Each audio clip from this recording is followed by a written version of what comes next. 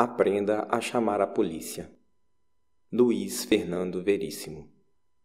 Eu tenho sono muito leve e numa noite dessas notei que havia alguém andando sorrateiramente no quintal de casa.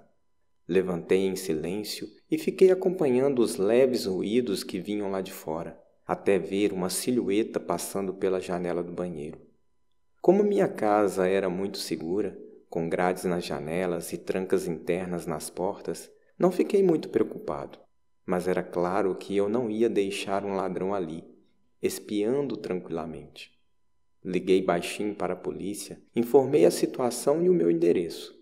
Perguntaram-me se o ladrão estava armado ou se já estava no interior da casa. Esclareci que não e disseram-me que não havia nenhuma viatura por perto para ajudar, mas que iriam mandar alguém assim que fosse possível.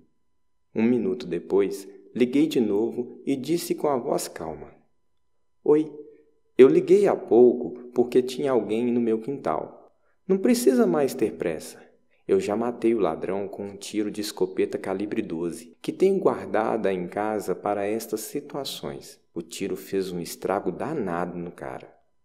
Passado menos de três minutos, estavam na minha rua cinco carros da polícia, um helicóptero, uma unidade do resgate, uma equipe de TV e a turma dos direitos humanos, que não perderiam isso por nada neste mundo.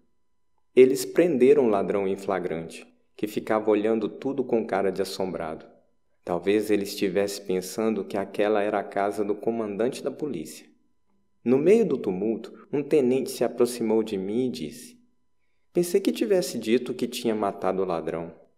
Eu respondi: Pensei que tivesse dito que não havia ninguém disponível.